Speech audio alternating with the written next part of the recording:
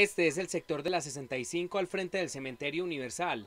Pasadas las 2 de la tarde de este domingo, la cámara de seguridad que hay en el sector comenzó a mostrar la llegada de cientos de motociclistas que al parecer se citaron por medio de redes sociales. Fueron tantas las motos las que llegaron que en menos de 10 minutos ya no cabían en la estación de servicio de la zona, lo que generó el bloqueo la carrera 65 y hasta la invasión de espacio público. Fue una concentración o fue un un suceso que no tenía ningún tipo de permiso y reitero lo que estaban era violentando el orden ciudadano. Hay 1.500 motos por todo esto y al rato llegó la policía y les volvió gas lacrimoso y, y ahí se llevan como 100 motos. En las imágenes también se ve como algunos motociclistas incumplen con varias normas de tránsito.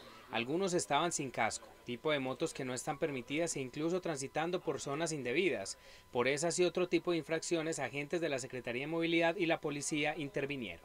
Motos que estaban infringiendo la norma, que estaban pasando los semáforos en rojo, muchas de ellas no identificadas como debe de ser con la placa. La Secretaría de Movilidad logró inmovilizar 45 motos y dos eh, cuatrimotos. Según la Secretaría de Movilidad de Medellín, habrán más controles para evitar este tipo de concentraciones de motociclistas, las cuales se vienen incrementando.